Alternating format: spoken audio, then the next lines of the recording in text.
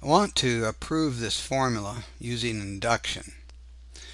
Now, first of all, when you're proving something by induction, you need to verify that it works when n is equal to 1. To verify that, you'll plug in n equal to 1 on the left and n equal to 1 on the right, and then check and see whether you get the same thing. So I plugged in n equal to 1 on the left and n equal 1 on the right, and in both cases I got 1 for an answer. So you see this formula is true in the case that n is equal to 1. So now what we're going to do is we're going to assume that it is true for n, for some value of n, and then show that it is true for n plus 1. First of all, if you take the sum from k equal 1 to n plus 1 of k cubed, it's the sum up to n plus the last term, which is n plus 1 cubed.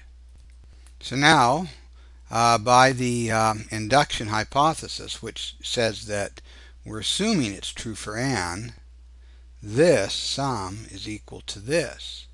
And so I'm looking at this.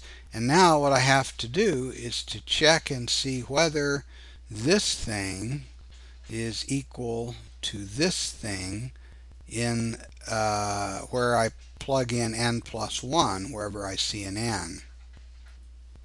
So now um, I ended up with um, this and now that's equal to this because I factor out an n plus 1 squared from both terms. And then that's equal to this.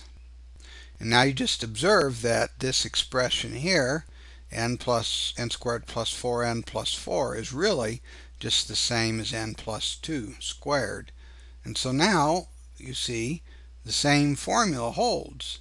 I put an n plus 1 in place of n here, and it gives me the sum from k equal 1 to n plus 1.